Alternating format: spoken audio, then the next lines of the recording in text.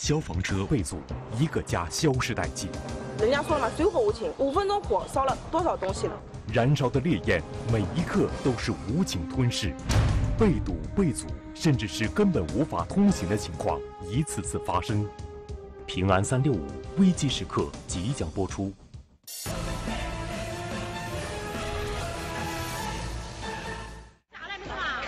二零一九年五月五日，江苏省扬州市西湖景园小区一居民楼发生火灾。我，这个上面呢，才烧了一半。房主郭先生立即报警，消防人员第一时间抵达了该小区。本来是一场迅速就能够扑灭的小火，但是消防人员却只能眼睁睁地看着郭先生家烧成灰烬。消防去的不得过来，不得过来，阿爸们又去的。这个两面先是空气的，这地方车去，消防现在不得进来。消防车的行车记录仪显示，进入小区后，消防通道停靠着社会车辆，导致救援车辆无法正常通行，并且前后两次受阻。打那个业主电话了，就让他下来挪车，然后那个三轮车那个面包车那个业主就下来把挪了，挪了之后过去。在打电话叫业主下来挪车的过程，耗费了数分钟时间。火势越来越大，从客厅蔓延到了卧室。我不说多，五分钟应该会有，就两次堵车造成的。你要对于火势来说，人家说了嘛，水火无情，五分钟火烧了多少东西了？我本来是个小船厂，弄到现在现在大船了，扣价无回，有价无回，不得办法的。郭先生一家的悲剧虽然是个案，但是记者走访发现，该小区道路车主占用消防通道停车的现象却是屡禁不止。九点到七点晚上又去的，天天血没了。那个马晚上马马晚上马六八九点去的，那个人自个都不好做。虽然我们做了宣传，这个对有些车辆实行贴点管理，叫他们的话呢不要停在消防通道上，但是有些呃业主他为了救别，而不能的话呢及时配合我们。占用消防通道的事情，除了郭先生所住的小区。其他小区也不鲜见。记者跟随消防车走访了扬州市内的几个小区。首先，我们来到的是一所老旧小区。这个太窄了吧？该小区门禁处非常狭窄，并设置违规路障，对于消防车辆顺利通过形成阻碍。他们不把那个移了，我们根本进不来。我们车子比较宽。一般我们常见的消防车高度约三到四米。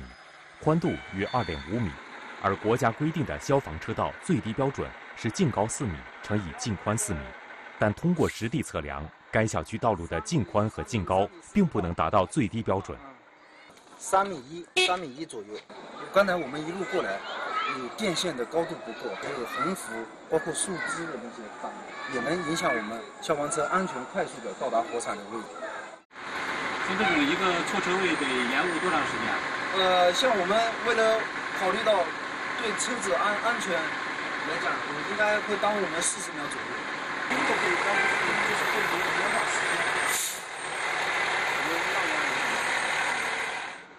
为了进一步观察消防通道的实际状况，消防车又进入了一所老旧小区。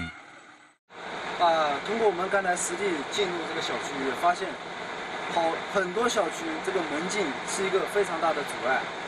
刚才我们通过的时候，实地通过的时候，耽误了我们很很长的时间。消防员进入小区后，就立即展开了对道路净宽的测量工作。经过我们刚才实地的测量呢，这个小区消防车道是符合标准的，呃，达到四米宽以上。但是有些业主为了出行方便，他将私家车还是停靠在消防车道上面。前方楼栋一旦发生火灾，我们消防员是。必须要铺设很长的水带，或者奔跑很长的距离，才能到达着火地点，这样会极大的影响灭火救援效率，使小火变成大火的这种可能。像现在这种情况，我们消防车子是无法正常的通过的，只能停停靠在原地。这个车私家车主停放的比较随意，还有这边右边有右侧有电瓶车辆，还包括这些绿化绿植，它的架高也无法达到四米高的架高要求。也会影响我们消防车辆快速的通过。为了进一步验证各小区在消防通道上的区别，消防员进入了一所已经实现人车分流的小区。呃，像这种人车分流的小区呢，我们消防车能快速安全的到达着火地点。其实，除了社区道路，消防车在很多城乡道路和高速公路的应急车道上也会受阻。在最近几个月，我国就发生了多起类似事件。二零一九年五月十一日晚，福建省莆田市城乡区凤达花园小区内，一小女孩的手指被消防门卡住。接警后，城乡消防救援大队龙桥中队消防人员立即赶赴现场，但在消防车即将进入小区时，却被大门通道转弯处的违停车辆堵住。消防车此时不仅车体被卡，就连装消防器材的箱门也被别住。箱门被别，意味着部分救援器材无法取出。而此时，现场周边车辆人流越聚越多，消防车无论是前进或后退都受到阻碍。为了抢救援先机，一部分消防人员只能先取出另一个箱门的部分工具前往救援。经多方联系，私家车驾驶员到达现场后，发现后方一部车辆挡住了前车的后退。因为时间紧迫，周边人士合力将车抬起挪到一边去，我们才可以顺利取出器材。就在该事件发生两天后，类似事件又重复上演。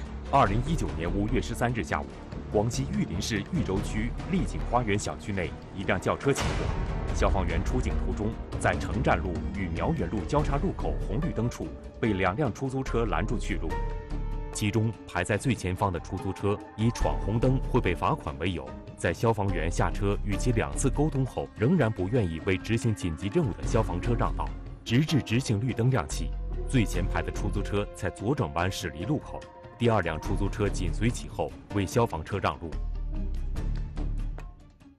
五月十四日下午。两名司机接到玉林市公安局交警支队直属四大队的通知，来到大队核查。前排出租车司机欧某刚到大队时，还以为自己是因为闯红灯而受到处罚。知道我们为什么把你叫过来吗？知道，这是闯红灯啊，是吧？闯红灯啊！呃，这是这是因为有交交通队叫我们的。他说他说你你开走，他就不过去，他就出警了。行为肯定是闯啊，但是他们叫我，又不叫我，我肯定是吧？肯定不敢闯。我知道了，六分两百的我们。你听到那个警报声响吗？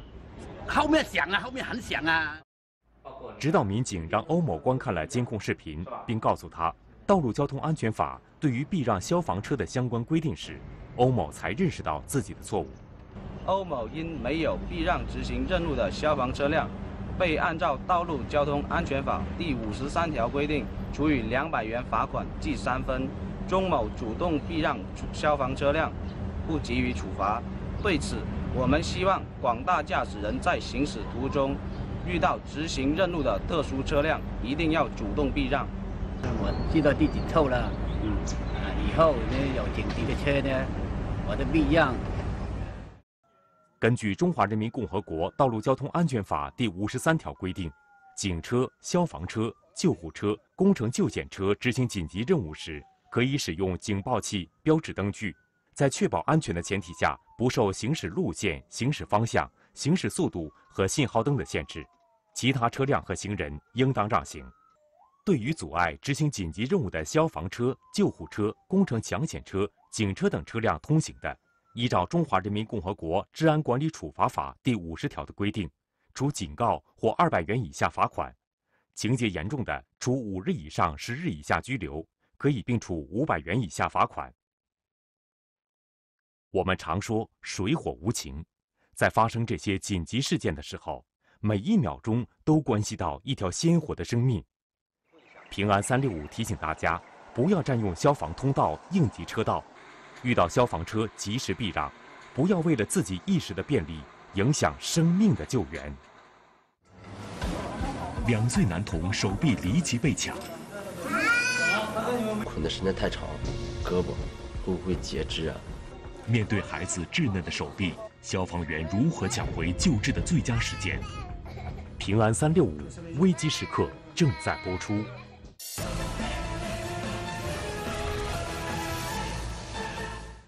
事没事，马上好了马上好了，别动啊！不用了不用了，二零一九年三月二十六日十九时三十四分，吉林省长春市消防救援支队接到群众求助，位于金宇大路和芳草街交汇的一个温泉洗浴内，有一名幼儿手臂被抢，情况危急。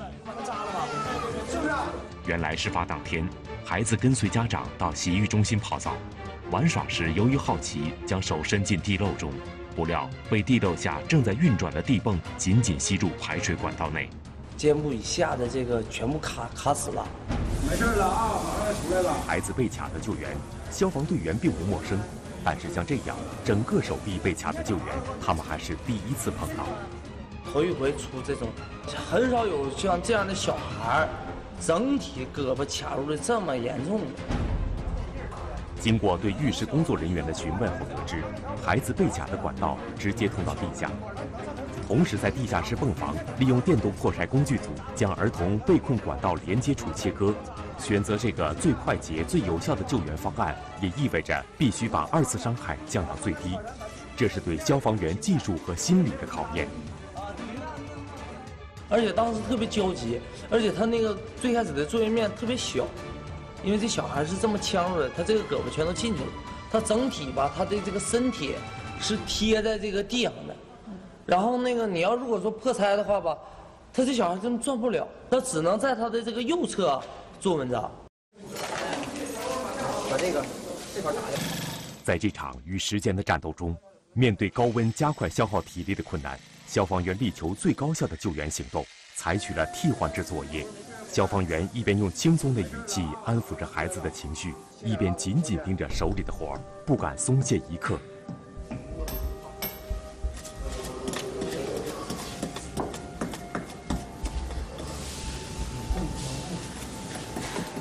整个地全部刨掉，大概得有三四五十公分厚，特别难刨，因为它有防水层。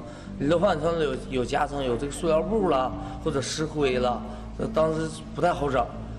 与此同时，在狭小的地下室切割管道的消防员同样面临着不少的困难。管道特别多，他说这些有三四根吧，都是那个排水管道，而且它的排水管道和它的那个清水管道还没有明显的标志，就是去了也不知道哪个人到底是。啊，卡住男童的，最担心的就是，如果说我破拆的幅度如果大了，这个管道壁要是动的话，会不会对男童进行二次伤害呀？或者是会不会我破的慢了，就是对男童错过了对他的手臂保护的最佳时机？好，你在这儿，你跟消防在这儿，慢点来，手再拔点。好，别动，别动，这边好。在破拆的时候跟楼上沟通。地下室那个电台信号不是非常好，所以说沟通也比较麻烦。往上推能推动吗？推动了，推动了。慢点，好停。经过上下接应，紧张破拆，消防员成功将卡住男童手臂的地漏和排水管一起挪出，把被困男童转移到更衣室床上，对卡住手臂的地漏和排水管进行下一步破拆。先搞这个就行啊。先把手拿掉，先把手再拿出来，要不这管这管还憋着。对，那玩意儿 胀着呢，往那看。那你看那个手多长来？量一下呗。来，宝宝别动啊，先直，叔叔看一眼啊。消防员第一步用手丈量出孩子被卡长度，把剩余的管道进行截断，接着对地漏进行破拆。但是面对孩子稚嫩的小手，消防队员的破拆犹如尖刀上跳舞。这肿太高了，而且当时他小孩已经冻的，这个肉已经。当时都已经划烂了，已经。嗯，宝宝，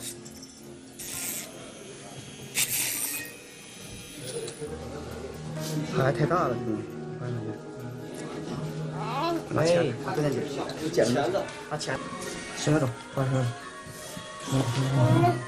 哦，不抽，宝宝，别往后拽啊！哎呀，宝宝啊，着地了，宝宝。呀，慢点，关关关关，呀呀。呀呀关呀呀呀继续。呀呀。好，呀。开开好。这个钢的东西在剪的过程中，你不能一口气剪完，剪完它崩崩的特别厉害，而且，然后就是一点点剪，最后剪到还有一点的时候，两个人用钳子给把这个薅开了。卡住啊！这这个病。我知道。下去。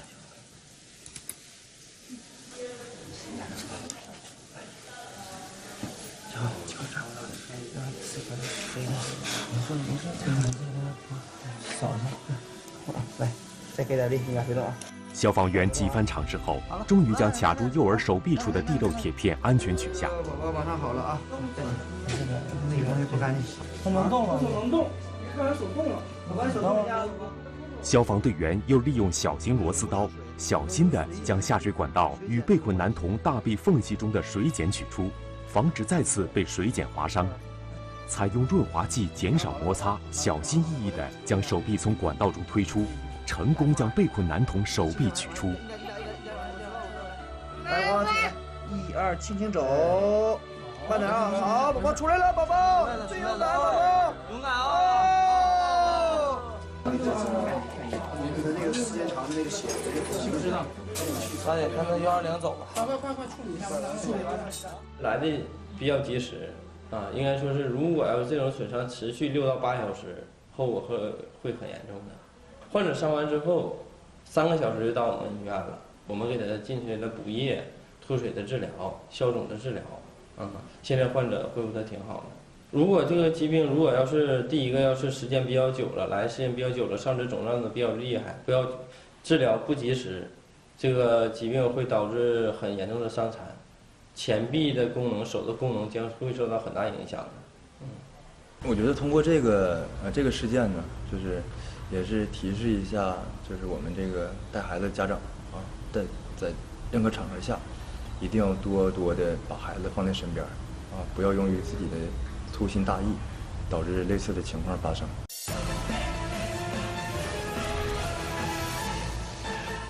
二零一九年五月十日。由吐鲁番示范区和吐鲁番市消防救援支队主办的“提高灾害防治能力，构筑生命安全防线”主题活动在葡萄沟景区闪亮登场。活动中，精彩的消防服装走秀、优美的维吾尔族歌曲和舞蹈，深深吸引了过路的游客。大家停住脚步，一边欣赏节目，一边仔细学习消防安全知识，并在“防灾减灾，从我做起”的签字板上留下了自己的姓名。此次快闪行动通过新颖时尚的形式，将消防知识融入到民族特色和行为艺术中，用贴近市民生活的方式宣传消防安全，让更多的人在寓教于乐中关注消防、学习消防、参与消防。